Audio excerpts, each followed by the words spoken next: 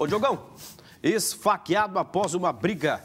A vítima foi encaminhada à UPA, Unidade de Pronto Atendimento Jogueira, lá do Jardim do Sol, com escolta da Polícia Militar, viu?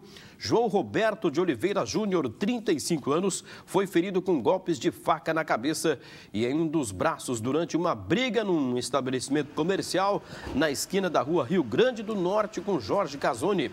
A polícia militar descobriu que o homem ferido tinha um mandado de prisão em aberto por furto. Depois de receber os curativos, João Roberto Oliveira Júnior, 35 anos, foi levado direto para a central de flagrantes, né? Onde acabou então sendo guardado devidamente no local onde ele deveria estar, porque tinha um mandado de prisão contra ele, Jogueira.